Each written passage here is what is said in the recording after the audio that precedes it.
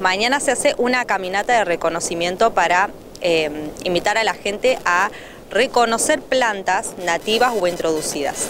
Eh, la idea es eh, identificar qué plantas son medicinales, cuáles se pueden comer, porque hay como mucha duda en base a eso, hay como mucha variedad dentro de un mismo género de la planta, entonces la idea es saber bien qué se puede consumir.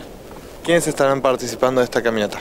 La organizamos desde un grupo de huertas agroecológicas, em, la Biblioteca Alfonsina Storni, que tiene una biblioteca verde, que tiene en funcionamiento ahí una huerta, después eh, Ushuaia Huerta Urbana, Tun Sabores Vivos y bueno, quien habla, Agito Consciente. ¿Cómo pueden participar? ¿Tiene algún costo el recorrido? No, no, es completamente gratuito.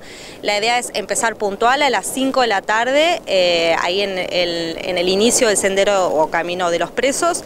Eh, la idea por ahí es estar entre una hora y media, dos horas. No sabemos bien cuánto tiempo le, estimamos a eso, pero eh, que se acerque todas las personas que quieran esto, ¿no? Conocer qué tenemos acceso, la medicina la naturaleza, saber que se puede consumir y que esto es mucho más valioso y tiene, es más enriquecedor o más nutritivo que eh, las verduras o, las, no sé, las cosas convencionales que solemos encontrar en una verdulería. ¿Esta es la primera de lo que tal vez sean varias actividades?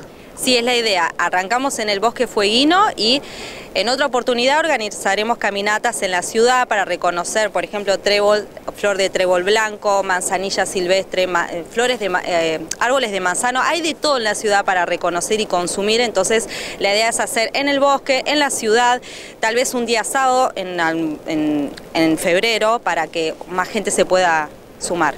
Si algún interesado, ¿cómo puede comunicarse con ustedes?